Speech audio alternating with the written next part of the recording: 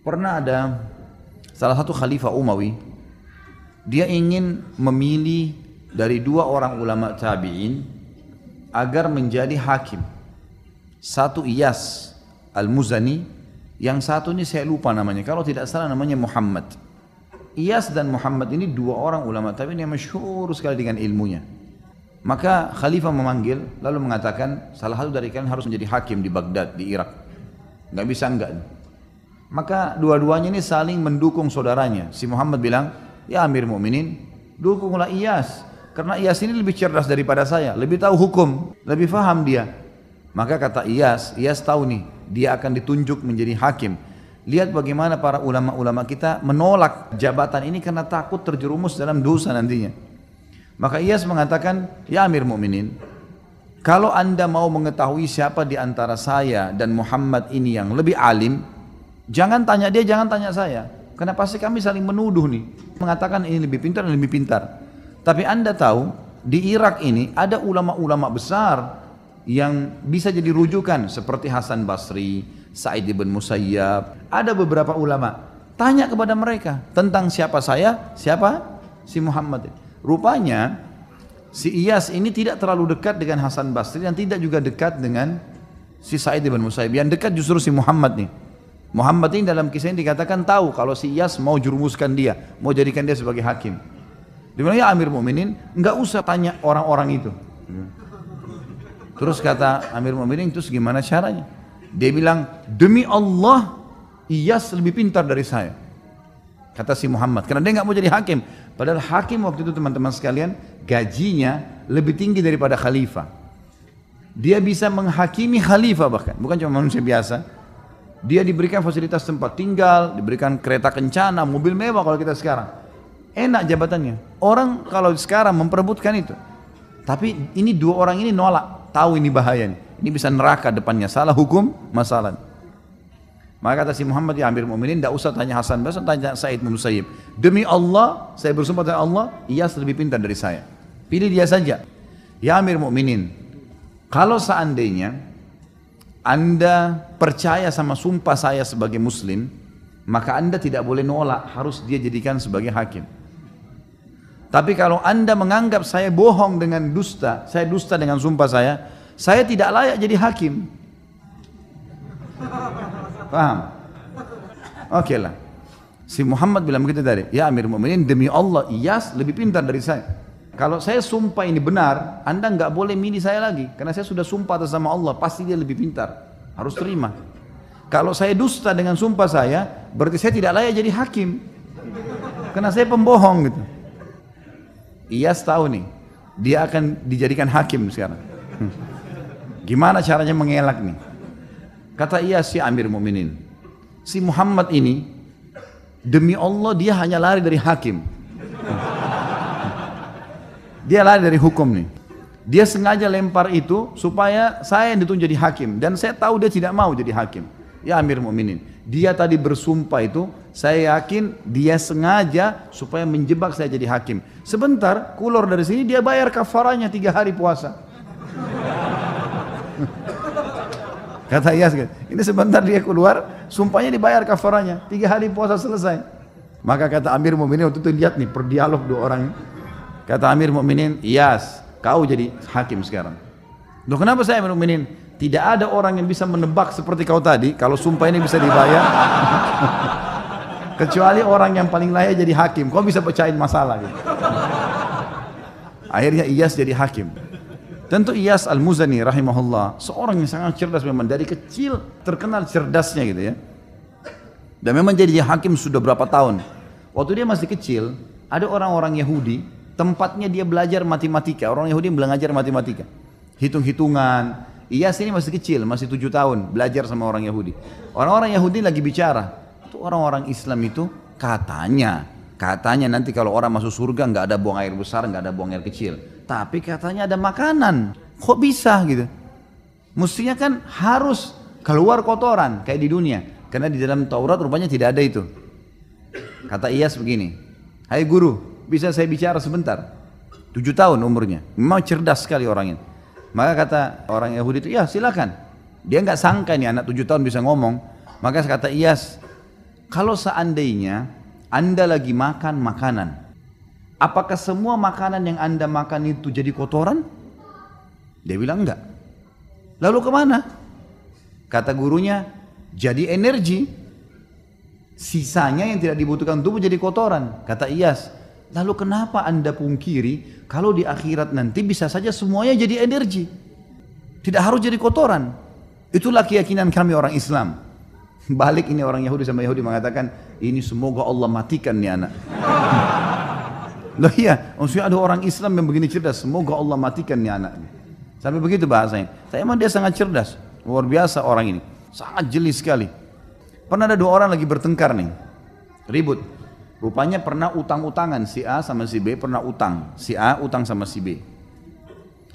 Sepakat ketemu di satu pohon, kemudian dikasihlah uang itu.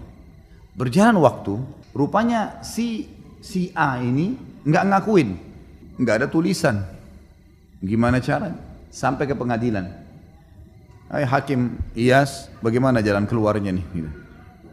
Kata Iyas, mana hujahmu? Disampaikan kepada orang yang menuduh ini, yang menggugat, yang punya uang. Dia bilang, ini teman saya, saya kenal. Di bawah pohon kami janjian. Dan saya kasih dibungkus warna biru, duitnya ada. Kata Iyas, itu saja ya. Ada saksi nggak ada? Ada tertulis nggak ada? Tanya kepada si A yang benar nggak yang dia bilang? Nggak benar. Mana buktinya? Saya nggak pernah kenal orang ini, saya nggak pernah ambil duit dari dia. Tapi Iyas ini Allah Subhanahu wa taala berikan dia feeling, dia merasa memang si B benar nih. Ringkas cerita. Kata Iyas, baiklah. Kalau begitu, dia bilang sama si B, kamu sekarang kembali ke pohon yang dulu kau pinjamkan uang yang kamu sangka itu. Ke sana, kemudian coba kau ingat-ingat sambil berdoa sama Allah. Siapa tahu memang kau ingat bukan orang ini yang kamu kasih. Anda hakim, sudahlah, ikutin saya, pergi aja. Pergilah si B ini, kembali ke sana, kita ke bawah pohon itu. Lalu Iyas ini mengatakan, kamu tunggu aja di sini sampai dia balik ya. Lalu Iyas sengaja menyibukkan diri dengan kasus-kasus yang lain. Rupanya si A ini duduk di kursi sampai dia merasa aman. Ya rupanya si Iyas ini sibuk, si fulan, si fulan, dipecahin masalahnya gitu. Waktu Iyas lihat dia sudah sangat nyaman duduk, Iyas tiba-tiba balik bertanya kepada orang itu mengatakan, Hai fulan si A, temanmu sudah sampai belum di pohon sana? Dia bilang belum, belum. yang yang tadi punya masalah ini, dia bilang belum. Kata Iyas, semoga Allah bunuh kau. Berarti kau benar tahu kalau itu pohon itu ada, gitu kan? Jadi tadi dibuat dia aman dulu, baru tiba-tiba Iyas bertanya, temanmu kira-kira sudah sampai belum? Dia bilang belum. Gitu. Ini kayaknya yang lain tidak ngerti ceritanya. Yang jelas banyak kasus-kasus seperti itu. Tapi mereka sangat hati-hati. Pernah satu kasus yang lain adalah ada dua orang zaman dulu kalau musim dingin mereka masuk ke sebuah tempat namanya hammamat. Ini seperti tempat permandian umum. Orang berendam di air panas, laki-laki sama laki-laki biasanya. Itu umum dipakai laki-laki. Ada satu orang rupanya dia pakai jubah, bantal dingin baru, warnanya merah, digantung sama dia. Ada orang datang, yang lain lagi satu, pakai jubah warna hijau sudah tua, mandi sama-sama berendam. Rupanya yang pakai mantel hijau ini pencuri. Waktu dia lihat mantel bagus di sebelahnya, mahal, ini dari bludru, maka kemudian dia pun keluar dari tempat mandi itu, berendam itu sebelum orang ini bangun, kemudian dia langsung ngambil jubah warna merah, kemudian dia pergi. Yang punya jubah merah lihat, ini jubah saya diambil, kemudian dia keluar, dia pakai jubah, jubahnya dia, karena dia tahu orang ini yang ambil tadi. Sekarang akhirnya si mantel ini berubah. Yang pemilik merah tadi, yang punya merah, yang baru ini, akhirnya dia terpaksa pakai jubah yang warna hijau. Karena jubah merahnya dibawa lari sama orang itu. Dia keluar gak mungkin kedinginan. Dipakailah jubah yang tua yang hijau ini. Yang mencuri tadi sudah pakai jubah merah, sudah lari. Dikejarlah sama dia. Ringkas cerita, lewat tidak sengaja di depan pengadilan. Lalu si yang punya jubah hijau teriak, ini fulan mencuri mantel saya. Ada beberapa, kalau kita sekarang polisi, aparat keamanan, ke khilafah yang menjaga depan pengadilan, tangkap, tangkap dulu. Tangkap. Ini orang ini jubah saya. Kok bisa? Ini yang pakai jubah merah bilang, enggak ini jubah saya, ini sama saya. Loh tadi kan kamu sama saya masuk ke kamar mandi untuk mandi, untuk berendam. Enggak, enggak, mungkirin. Pokoknya sudah ini niatnya mencuri. Baiklah, masuk pengadilan, masuk pengadilan. Sama Iyas dihadapin nih. Apa masalah? Nih jubah inilah ceritanya seperti ini. Bagaimana pendapat kau yang pakai jubah merah nih si pencuri? Ini jubah saya pakai, jelas-jelas punya saya. Dari mana ini orang ngaku gitu? Memang dasarnya mau mencuri. Kata Iyas kepada yang satu, apa alasanmu? Dia bilang nggak ada. Ini baru saya beli. Tapi buktinya sekarang kok pakai warna hijau nih. Loh, saya pakai tadi karena kalau saya nggak pakai saya kedinginan untuk ngejar dia. Apa alasan? Ada saksi? Nggak ada. Ada bukti? Nggak ada. Gimana jalan keluarnya nih mecahin? Coba kalau antum di posisi ini gimana mecahin? Iyas rahimahullah punya ide gitu.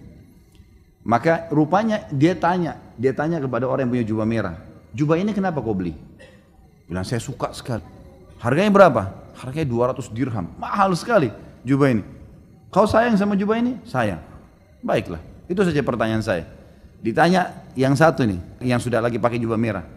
Berapa kau beli jubah ini? 200 dirham, ikutin situ. Karena dia tidak tahu harganya kan gitu. Kau sayang jubah ini? Sayang jubah. Baiklah kalau gitu. Sekarang untuk membuktikan, saya akan ambil sebuah alat, diambil seperti alat tapi dari besi itu untuk menghancurin benda biasanya, bukan pedang juga, tapi ada seperti sisir kalau kita sekarang tapi tajam-tajam gitu ya. Lalu kata Iyas, panggil salah satu petugas di pengadilan, ambil tujuh jubah merah, keluarin sekarang, taruh di depan saya. Ini jubah sekarang, saya akan hancur-hancurin. Karena kalian berebut, tidak tahu siapa yang punya, maka saya akan hancurin nih. Diambillah sama dia sisir tersebut tadi yang tajam ini, kalau ditarik ini sobek semua nih. Tiba-tiba yang punya jubah, yang memang punya jubah yang tadi yang betul-betul beli itu, mengatakan sudah sudah, hakim, nggak usah, kasih aja dia deh, daripada hancur. Sementara yang satu ini bilang, ya udah silahkan, hancurin aja. Udah ketahuan belum? Sudah mulai cerdas malam ini. Ini betul jubahnya si B, kasih si B. Loh kok bisa sih? Hanya mungkin, enggak, enggak, enggak mungkin. Kalau kau punya kok enggak bakal mau hancurin. Seperti itulah. Dan cukup banyak kasus-kasus dalam pengadilan Islam yang unik sekali.